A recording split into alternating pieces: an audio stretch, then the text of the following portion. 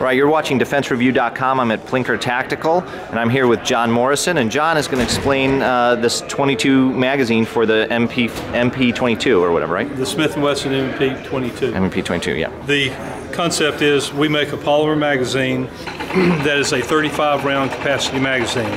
It has a uh, hold open on the 35th round.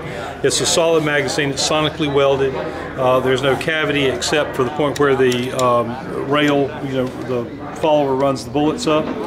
It is a solid magazine, so when it's in the lower, there's no port, open port to bring dust, dirt, grime, or grease in. Therefore, you a little bit cleaner magazine. You don't have to worry about getting things jamming. We have a load assist tool. This load assist tool will latch onto the back of the hold open and help load the magazines as it pushes down. You can load them in. Right. And then you have a charging handle. We have a charging handle made specifically for the Smith & Wesson MP22. It's tactical in design, ambidextrous, billet aluminum. Very functional. And you make that yourself? Yes. Everything is made in Charlotte, North Carolina. Oh, okay. Very our cool. Actually, uh, Charlotte, North Carolina, actually, our company is in Cornelius, but in Charlotte's easier to say.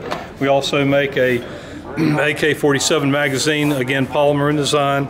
Um, it is. Um, this is 762 by 39. 7.62 by 39. Right. This is a pre-production sample. This it'll be stippled to uh, very much like this rough, so, so you can grip it.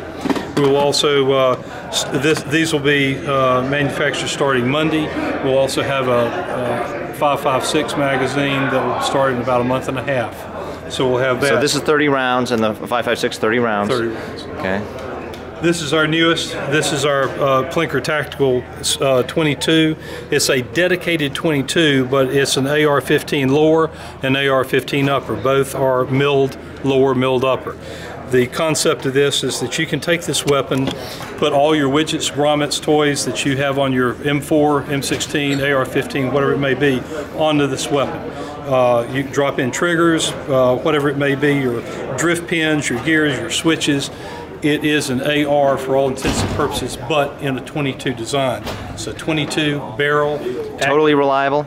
Reliable. We are in the process of, of uh, putting the final touches on it.